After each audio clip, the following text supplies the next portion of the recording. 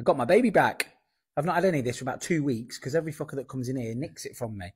So thank you so much for sending me this. I've got two pots, 25 grams. That's fucking 70 pound a piece.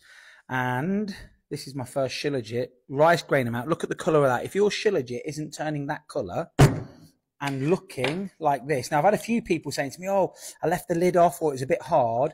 If it isn't putty like, like this, what you need to do is put the entire thing in some warm water, some boiling water. Don't get any water in the actual shilajit. So put the lid on and it will soften it up a little bit. But um, yeah, looking forward to getting back on this. I've not tasted it for a couple of weeks, so fucking hell, here goes.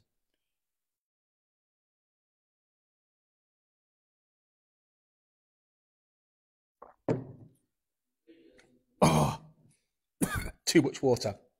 Don't put that much water in it. Oh my god, I'm fucking gagging. Anyway,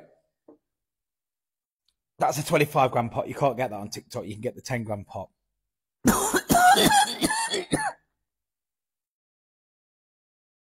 oh, fucking hell. Enjoy. that was fucking horrendous.